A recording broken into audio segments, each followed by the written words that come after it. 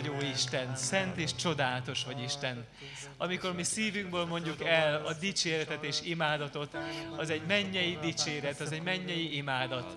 Uram, tudom, dicsérnek téged a mennyben is, a mennyben seregek, mennyei dicsőítő seregek, dicsőítik a te nevedet. Uram, mi nem akarunk más tenni, mint csatlakozni ehhez a seregekhez, a mennyei seregek az, amelyik szüntelen dicsérik, imádják és magasztalják a te nevedet, mert nagyszerű és tökéletes vagy, ó Isten, mert méltó vagy a dicséretre és imádatra és magasztalásra, mert nagyszerű és tökéletes Isten vagy. Mi nagy vagy, mi nagy vagy Te, ó Isten, mi szent és tökéletes. Halleluja. Halleluja. Jézus,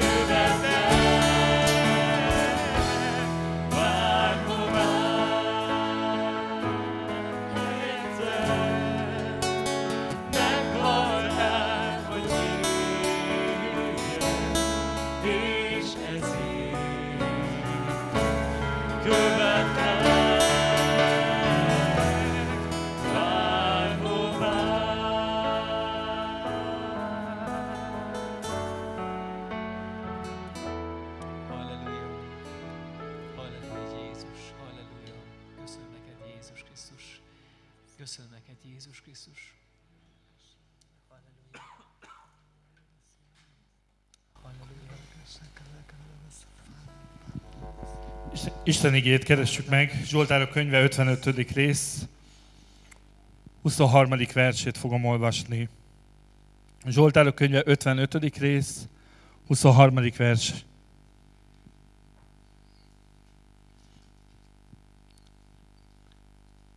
És majd a Máté Evangélium a 11. résznek a végéből fogok olvasni. Így olvasok az Isten igéjét ezen a helyen. Vesd az Úr a terhedet, és ő gondot visel rád. Nem engedi sohasem, hogy ingadozzék az igaz. És Máté Evangélium a 11. részből olvasom, 28. verstől a 30-ig. Az Úr Jézus mondja ezt, Jöjjetek én hozzám minnyájan, akik megfáradtatok, meg terhelve, és én megnyugvást adok nektek. Vegyétek magatokra az én igámat, és tanuljátok meg tőlem, hogy szelíd vagyok és alázatos szívű, és megnyugvást találtok lelketeknek, mert az én igám boldogító, és az én terhem könnyű.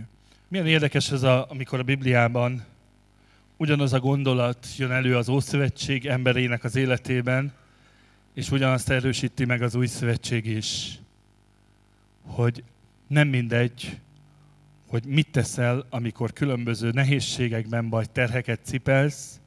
És azt mondta Dávid ebbe a tanító költeményben, hogy vesd az Úrra terhedet, és ő gondot visel rád. Milyen jó az, hogy az Istennek a gondviseléseiben beletartozik az is, hogy hogy vagy. És olyan sokszor, amikor egymással találkozunk, meg szoktuk kérdezni, hogy hogy vagy, de gyakran a rohanó életvitelünkből kifolyólag már megyünk is tovább, és sokszor nem halljuk azt, hogy mit mond a másik, vagy csak úgy azt mondjuk, hogy persze kösz, jól vagyok.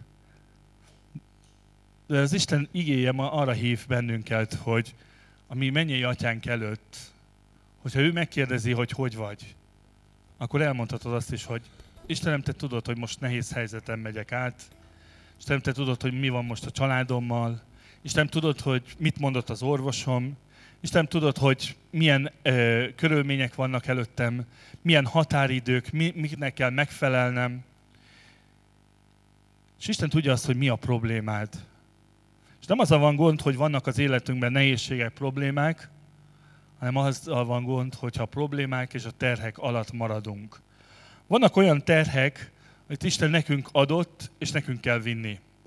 De vannak olyan terhek, amit arra ad, hogy odathassuk neki. És ezt énekeltük ebbe az énekben, hogy amikor még semmi nem létezett, amikor még nem volt meg a teremtett világ, Isten már akkor gondolt ránk. És olyan jó ezt tudni, így akár apák napján is ezt ebbe megerősíteni saját magunkat, hogy Isten nem azért szeret bennünket, amit teszünk, hanem azért, akik vagyunk. És annyira fontos meglátnunk azt, hogy, hogy Isten erre a kapcsolatra hív bennünket, hogy mi az ő gyermekeiként átéljük azt, hogy, hogy hozzá mehetünk.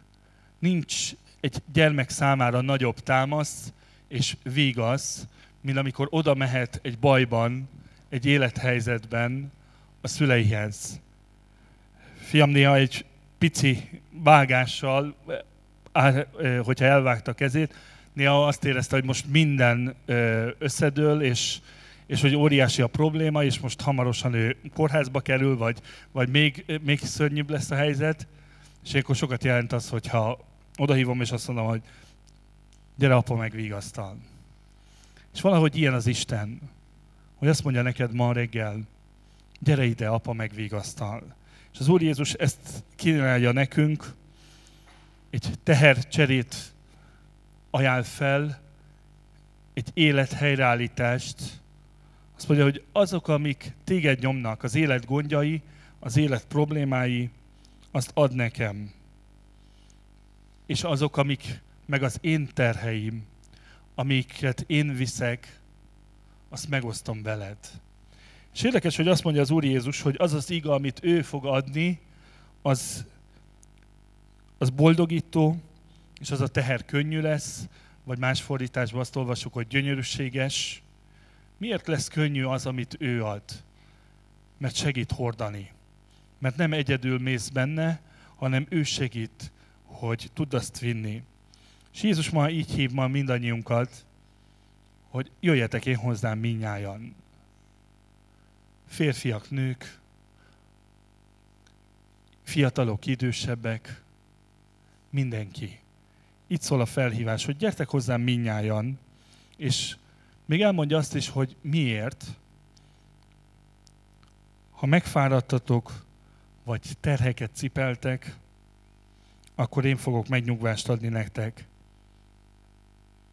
Azok az élethelyzetek, amiben vagyunk, akár most tehát az iskolai tanévvel kapcsolatos terhek, problémák, amik rajta vannak ma a gyermekeken, belegondoltam, hogy ez a világunk annyira teljesítménykényszerről szól. Mindenhol teljesítenünk kell. És, és ebben a teljesítményben előbb-utóbb elfárad az ember. És hallottam egy történetet egy apáról, aki, amikor fia megkapta a bizonyítványt, akkor azt mondta, hogy fiam, először meg szeretnélek ölelni téged, és el szeretném neked mondani azt, hogy mennyire büszke vagyok arra, hogy a gyermekem vagy. Mennyire büszke vagyok arra, hogy te az én családomnak a tagja vagy, és annyira látom azt a növekedést az életedben, a jellemedben, ahogy akár a testvéreddel viszonyulsz, ahogy édesanyáddal, és azt mondta, hogy örülök, hogy a fiam vagy. És utána vette elő a bizonyítványt. Azt mondja, nézzük meg azért a jegyeket is. Mennyire fontos, hogy, hogy ne a teljesítmény legyen mindenhol. És az Istennek a népe, az Istennek a gyülekezete legyen egy olyan hely, ahol önmagad lehetsz. Azt mondja, az Isten igéje arra hív bennünket, hogy Isten elhívott az ő fiával való kapcsolatra. És hogyha megnézzük Jézus és az Atya kapcsolatát, akkor az Atya nem azért dicséri meg a fiát, hogy hú, hány embert meggyógyítottál, 5000 embernek adtál kenyeret, és még a halottat is föltámasztottad, hanem azt mondta, hogy ez az én szeretett fiam, akiben gyönyörködöm. Őt hallgassátok. És ebből a kapcsolatból, hogyha megnézzük ezt, ennek az igeversnek egy pár gondolattal előtte lévő gondolatot, Jézus pont ezt mondja, hogy abban az időben megszólalt Jézus, ezt mondta, magasztallak, atyám, menj és föld ura, mert elrejtetted ezeket a bölcsek, értelmesek előtt, és felfedted gyermekeknek. Igen, atyám, mert így láttad jónak. Az én atyám mindent átadott nekem, és senki sem ismeri a fiút, csak az atya, és az atyát sem ismeri senki, csak a fiú, és az az, akinek a fiú akarja, kijelenti. Az, hogy neked lehetőséged van, és nekem lehetőségem van a terheimhez, Istenhez fordulni, az azért lehetséges, mert Jézus megismerte az atyát. És Jézus, ahogy megismerte az atyát, azt kijelenti neked, hogy megbízhatsz az édesatyában. Megbízhatsz a mennyei atyában, és hozzáfordulhatsz a problémákkal, a nehézségekkel, a betegségekkel, a fájdalmakkal, még a bűnökkel is.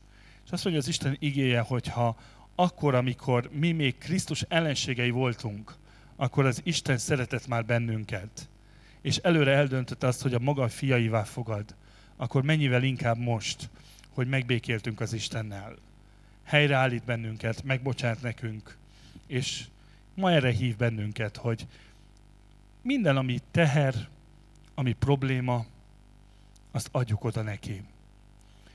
És vegyük át azt a nyugalmat, amit ő fog nekünk adni, és az ő terhét, amit meg ő akar megosztani velünk, azt meg így fogadjuk, hogy, hogy benne Jézust ismerem föl. Abban a teherben, amit az Isten ad, abban Jézust fogom felismerni, mert azt mondta Jézus, hogy vegyétek magatokra az én igámat, és tanuljátok meg tőlem, hogy szelíd vagyok, és alázatos szívű, és megnyugvást találtok lelketeknek.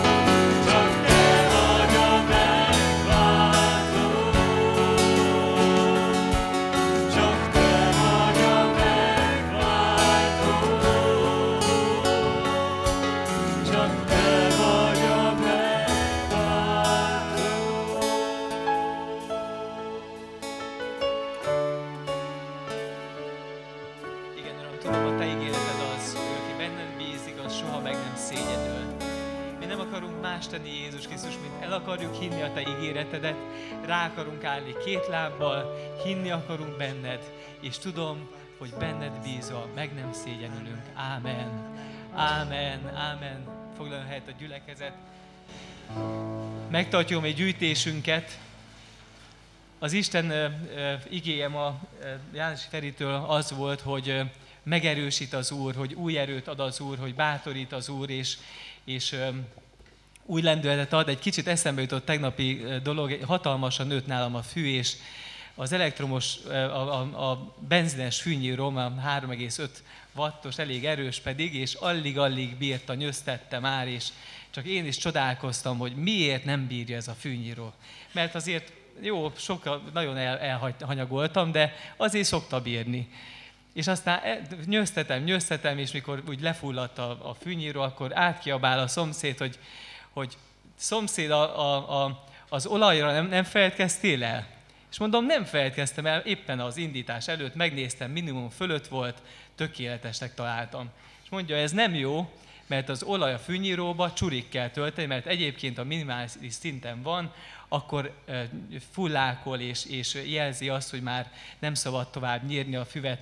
Ó, mondom, ezt nem tudtam, soha nem mondta még senki, hogy az olajnak nem elég, hogy csak éppen a minimális szinten tengődik, hanem kell, hogy mindig csurig legyen ahhoz, hogy bírjuk a terhelést, hogy bírja a fűnyír a terhelést. Hát kicsit eszembe jutott a, a mi életünk, hogy néha fullákolunk, ugye? Néha olyan kevés az erőnk, és lehet, hogy egy kicsit több olaj kéne az Istentől.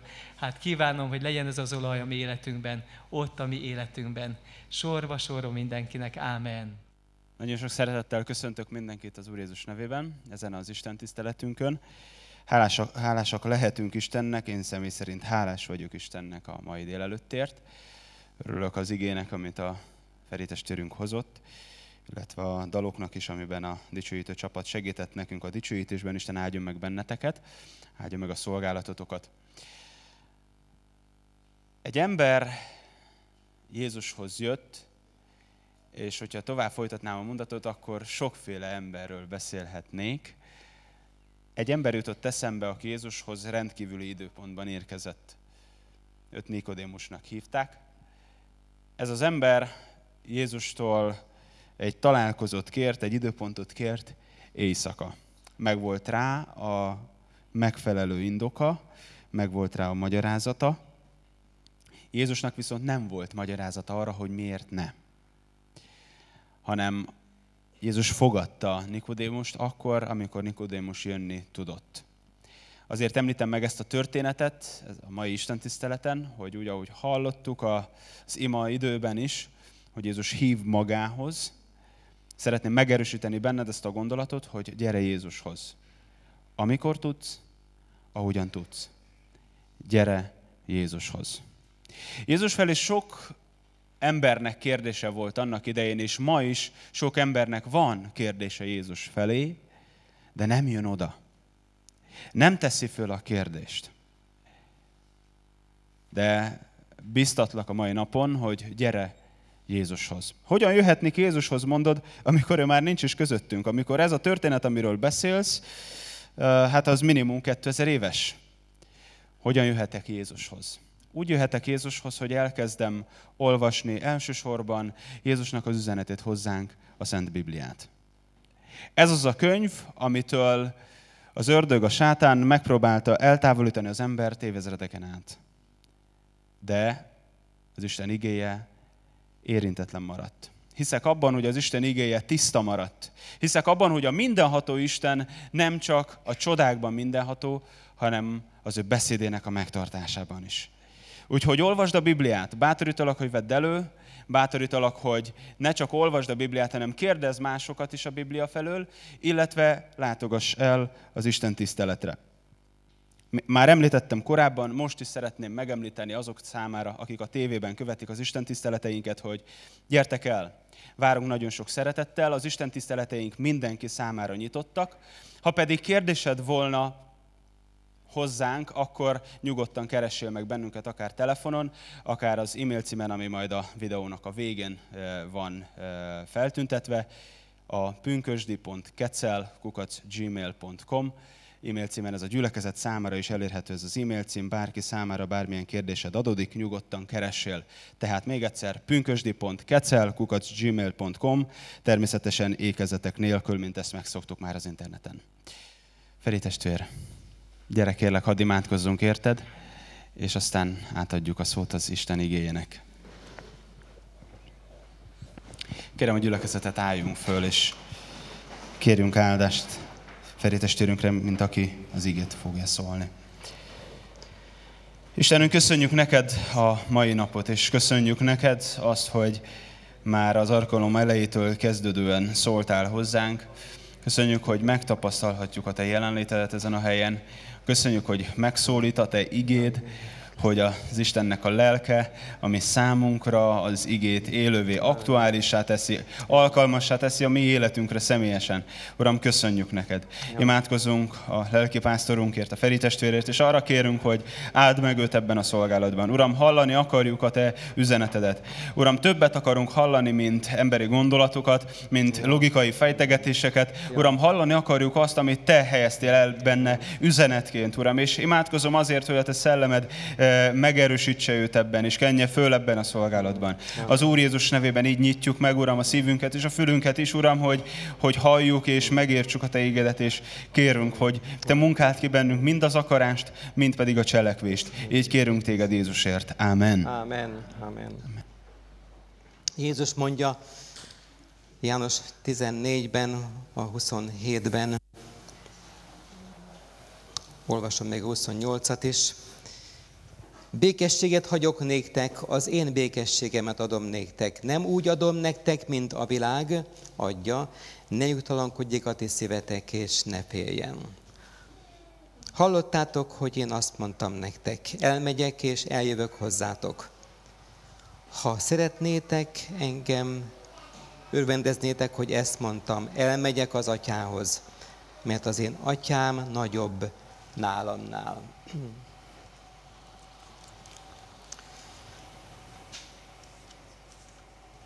Olyan körülmények között látjuk-e Jézust, amikor jogosan beszél arról a küszöbről, ami az emberi életnek és az érzelmeknek az a bizonyos váltópontja, ahol a biztonságosság, a biztonság és a kiszolgáltatottság közötti átmenettel találkozunk.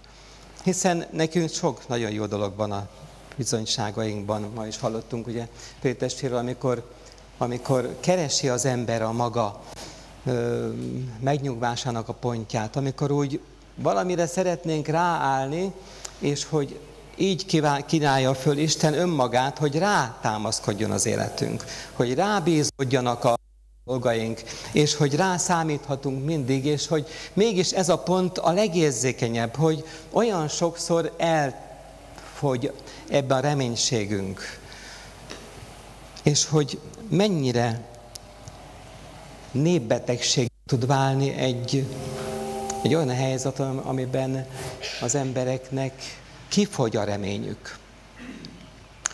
Egy humoristáról szól az a történet, hogy fölkereste a pszichiátert a faluban, a városban, és hát elmondta úgy ismeretlenként, hogy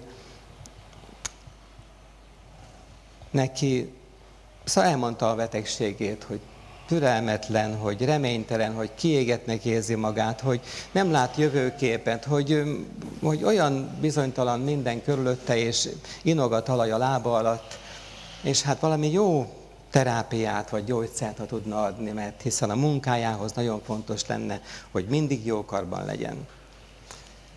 Pszichiátor azt mondja, hogy kicsit kapcsoljon ki, kicsit szüneteltesse a munkáját, vonuljon el, és fölül, különösen most javasolja, hogy jön a városban egy humorista, és hogy majd ő, ha meglátogatja az ő előadását, akkor egészen bizonyosan majd újra magára fog találni, és vissza fog térni az ő életkedve. Hát azt mondja, ez a betegünk, az a baj, doktor úr, hogy az a humorista én vagyok.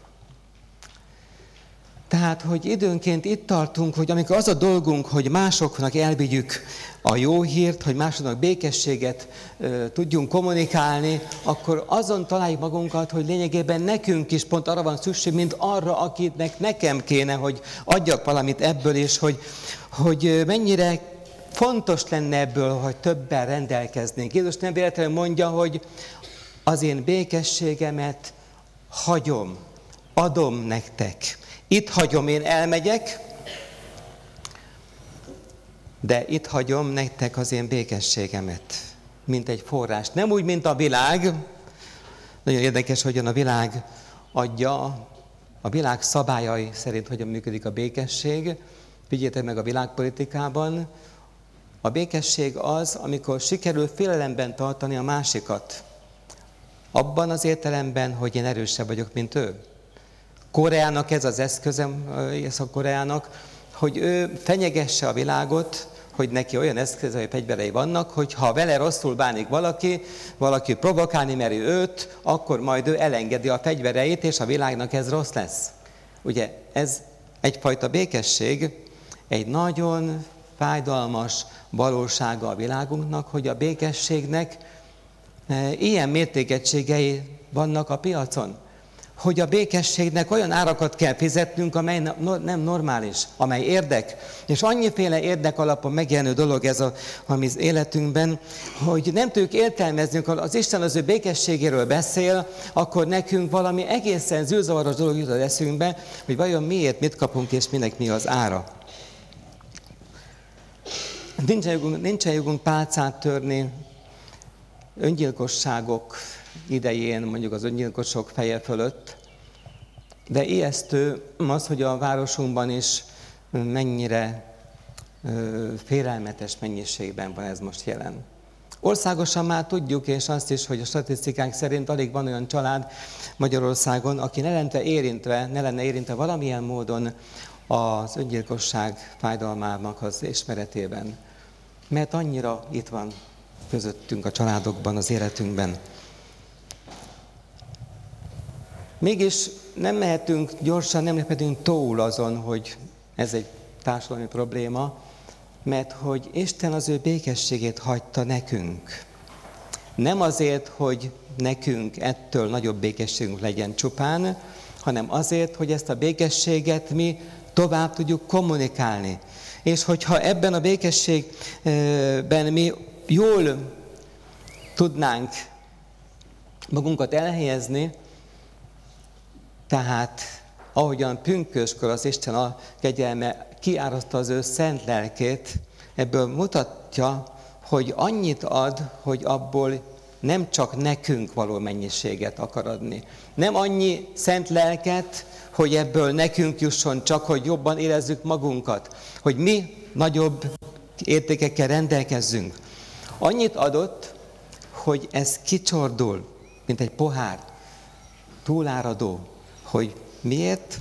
Hogy jusson, aranka, jusson a szomszédodnak is. Te nagyon igényled a pátyolgatást, azért jutott eszembe éppen a te neved, mert te rossz érzed magad, hogyha nem vagy eléggé benne a békességben, és olyankor jössz és telefonálsz, és, és keresed, hogy legyen, de kevés csak, ha neked van. Kevés csak, ha neked van, Lajos. És Ági és a többiek, kell, hogy jusson abból másnak is, hogy tovább tudjuk adni ebben a világban.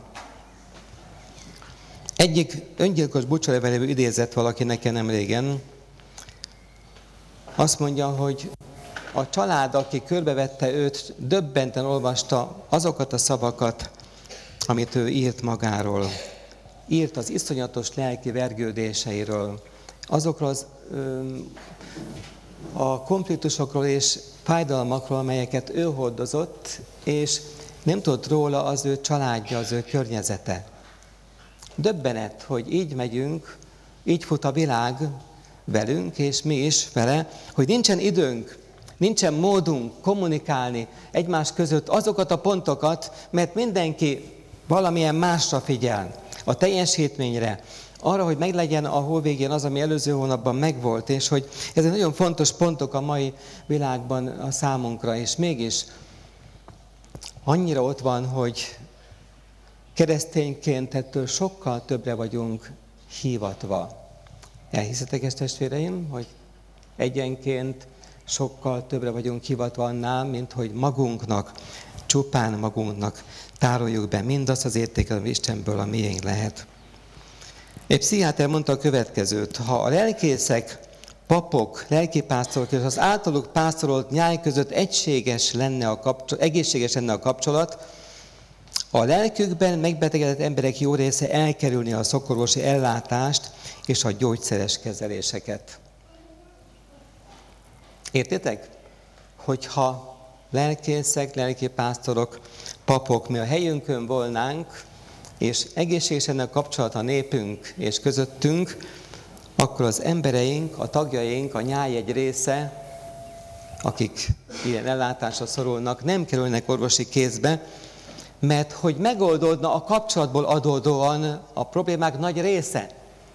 Hiszen a, a kommunikációban fejeződik ki az, hogy segítségnyújtásra van szükség. Ahol nincsen kommunikációt, nincsen az a fajta párbeszédesség, amelyből be lehet látni a másik lelki világába, és nem lehet hallani az ő kiáltásait.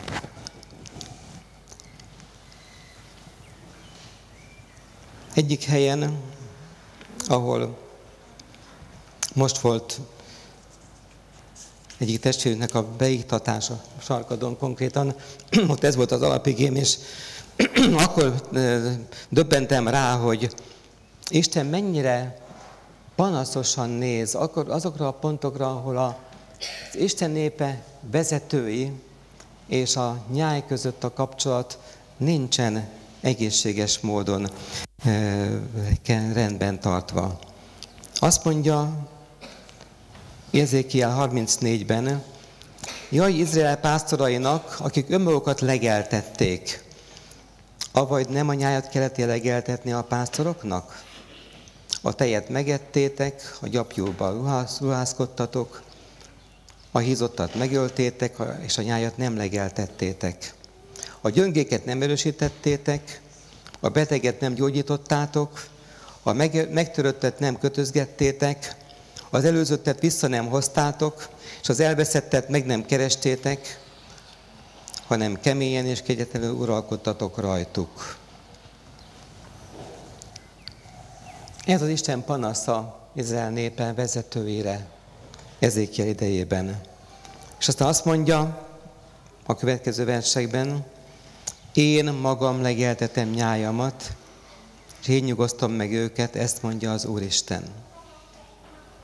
Az elveszettet megkeresem, az előzöttet visszahozom, a megtöröttet kötözgetem, a beteget erősítem, és legeltetem őket úgy, amint illik.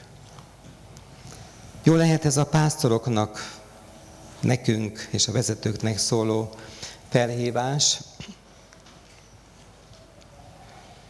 Magam is tapasztalva azt, hogy a szószéken végzett szolgálatunk az nagyon kevés, és az egész struktúránk, hogy a gyülekezet életünket éljük, az néha újragondolást érdemelne, hogy az egyházi szolgáltatásunk, amelyeket itt hivatalból végzünk, és az, hogy szónoki beszédként elmondjuk, amit Isten igényéből ránk bízottnak tekintünk és fontosnak érzünk. Ez mindenképpen nagyon fontos része, de újra gondolásra érdemes, hogy vajon eljutnak-e ezek a szavak a népünkhöz. Amikor a imádságokat visszahallgatom egy alkalom végén, már akkor nem vagyok benne biztos, hogy értettük, amiről szólt adott igei üzenet. És hogyha ezt tovább gondolom, ha ugyanúgy megyünk lelkünkben megfáradottan, sérültként, ahogyan jöttünk, akkor nem találkozik az Isten terve az életünkkel, hiszen a békességnek az íze, a békesség, mint egy lelki gyümölcs a gyümölcsök között, az nem képes bennünk teremni vagy élelődni, mert hiszen továbbra is ugyanúgy megyünk, ahogyan jöttünk. Hogyha nem tudunk közben gyógyírt kapni a sebeinkre, ha nem kapunk végaszt abban, amiben a vigasztalásra szorulnánk. Szóval hogyan működik a te saját lelki gondozásod? Hogyan jutsz vissza önmagadhoz, az elveszített békességből a megnyert békességbe? Hogyan? Nem szeretnék sem vallást építeni, sem üres járatokat, e, meddőütemeket támogatni, csak azért, hogy legyünk.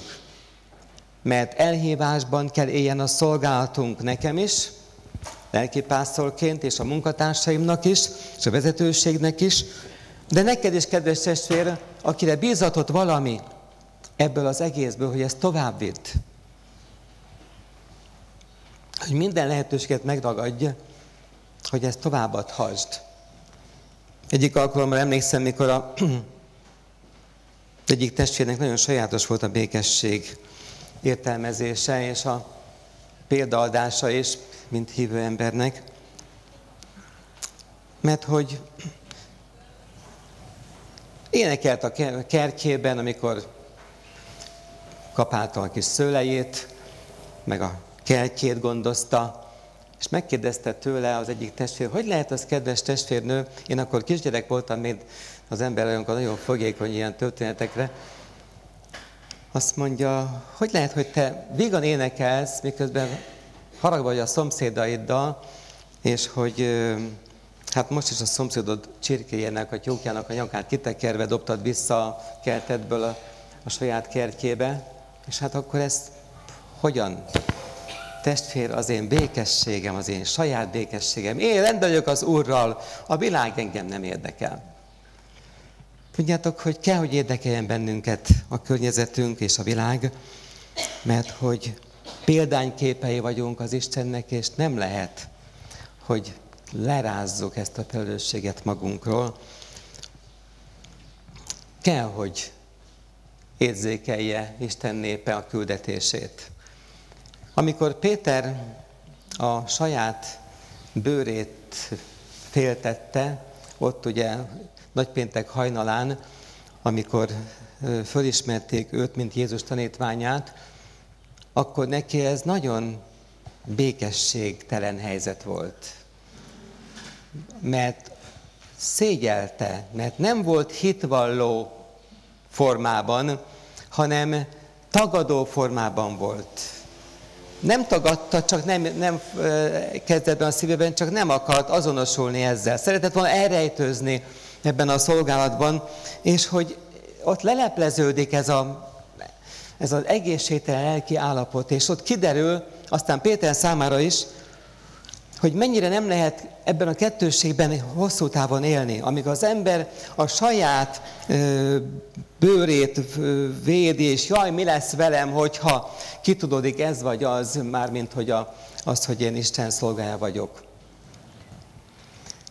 Ez a Péter, amikor pünkös után vagyunk, akkor nem önmagáért aggódik, hanem a világért, az emberekért. Mi lesz velük?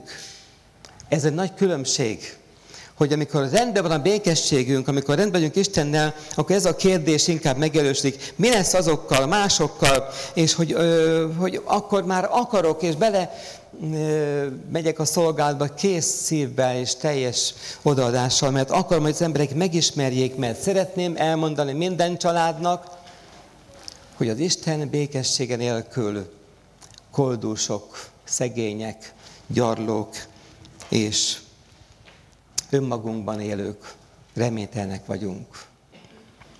Jézus akkor beszél a békességről, amikor okkal beszélhetne a nyugtalanságról. Hiszen épp a rész elején mondja, hogy ne nyugtalankodjék a ti szívetek, és ne féljen. Én ugyan elmegyek,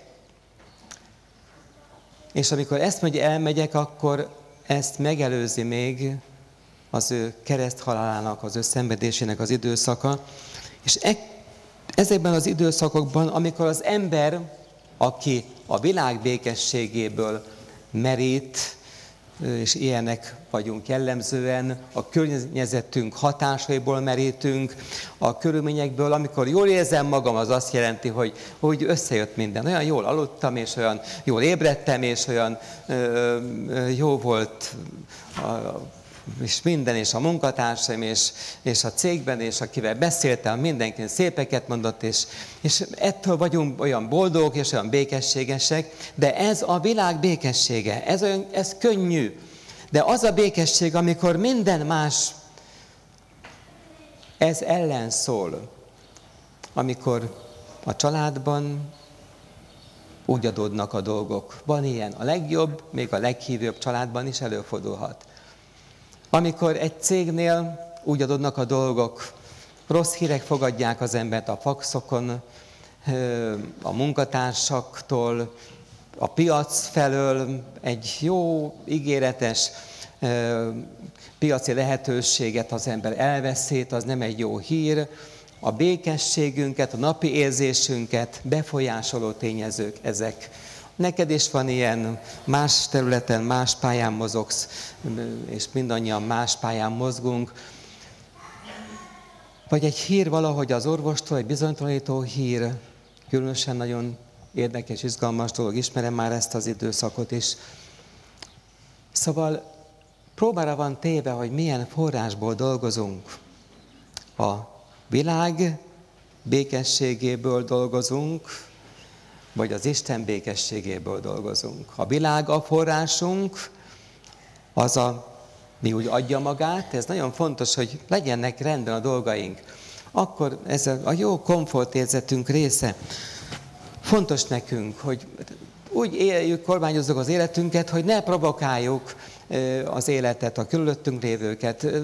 Valóban ne legyen konfliktus teremtő a jellemünk, az életünk, de mégis bármennyire is békességre törekvőek vagyunk, megjelenik körülöttünk az a fajta provokáció, amely próbára teszi, hogy valóban honnan táplálkozunk. És itt a különbség. Hogyha az Isten békessége lakik benned, akkor ennek a forrása nem apad el olyan könnyen.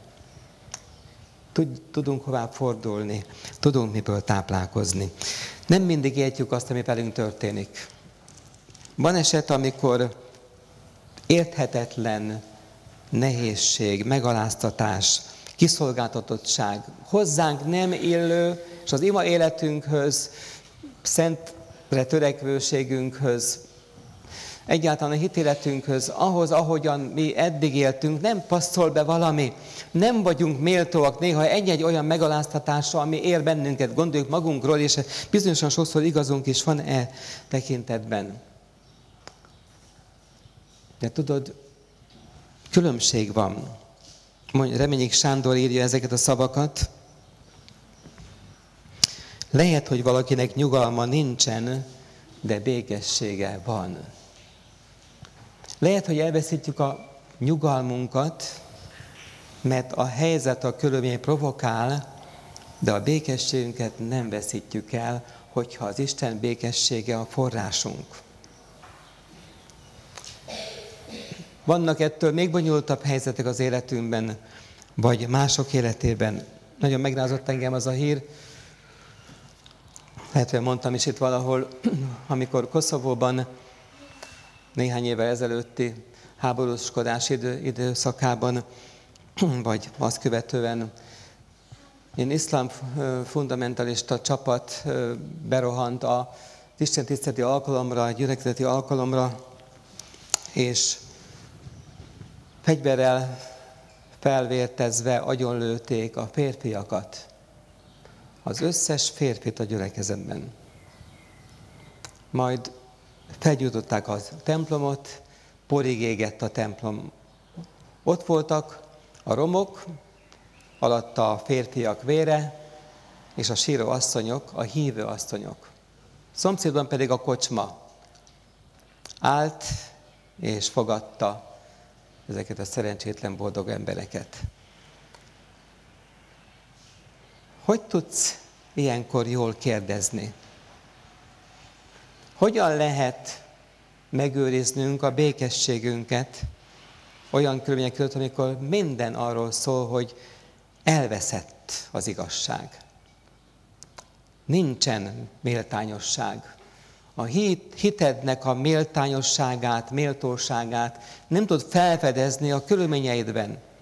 Elveszett valami olyan emberileg, és úgy gondolom, hogy egy csomó dolog van az életben, amikor, amire nincs válaszunk, és minél jobban keresnénk, annál több hibát követnénk el. Vannak helyzetek, amelyek csak az a válaszunk, hogy az jó Isten tudja, hogy mi van a háttérben.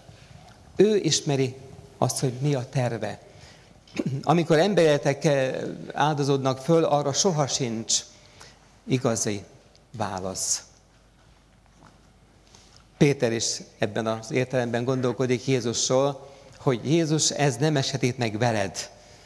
Mert a mi értékrendünk jogosan nagyon is első számú helyen tekinti az emberi életnek az értékét. Ez egy egészséges keresztényi gondolkodás. Ezért lesz egy csomó dolog az életben, hogy nincsen válaszunk, amikor olyan típusú viharokat, csatákat él meg az életünk. Tudom, hogy miről beszélek, voltam már hasonló helyzetben. De tudod, ha most megnézed néhány évvel később, és amikor a síró asszonyok ott újra összejöttek ezen a ö, törmeléken, a ledöntött, fölégetett templomok romjain, vagy a templomok romjain, és ott jöttek össze vasárnaponként imádkozni, már nem magukat csiratták csak, hanem az Isten ügyét. És egy idő után elindult valami.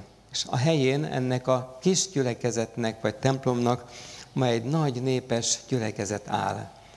Időnként nem értjük, hogy a mi békességünk árán, ami hűségünk árán, ami, ami megtermett békességes gyümölcsünk és lélek gyümölcseinek az árán, mi minden nő föl, akár a családodban, akár a társadalomban valahol.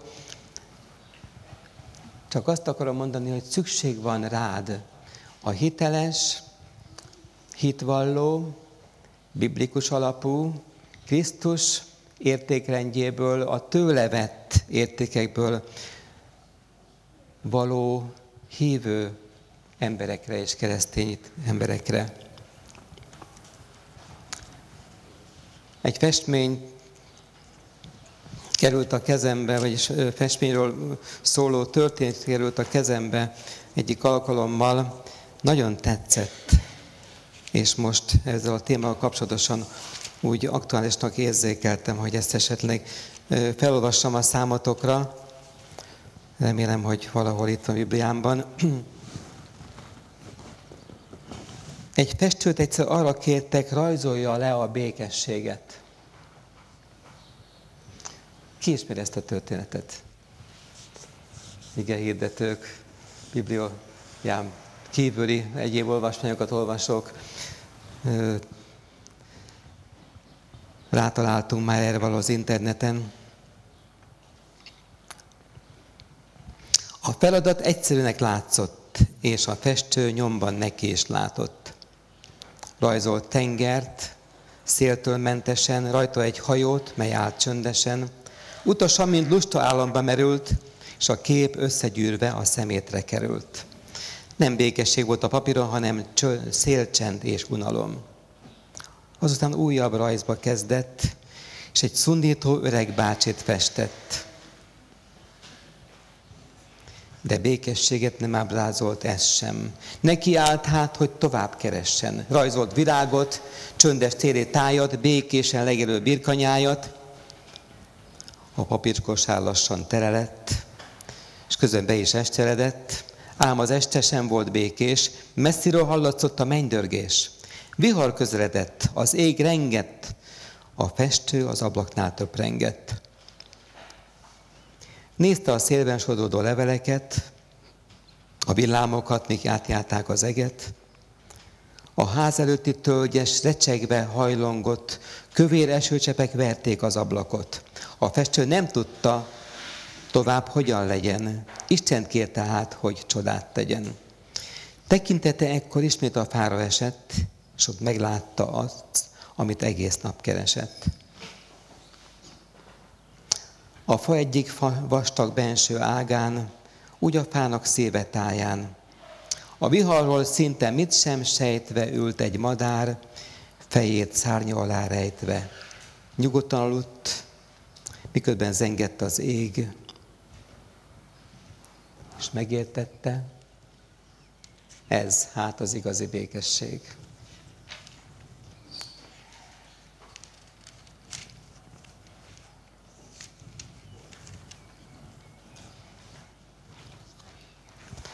Békességet hagyok néktek, az én békességemet. Nem úgy,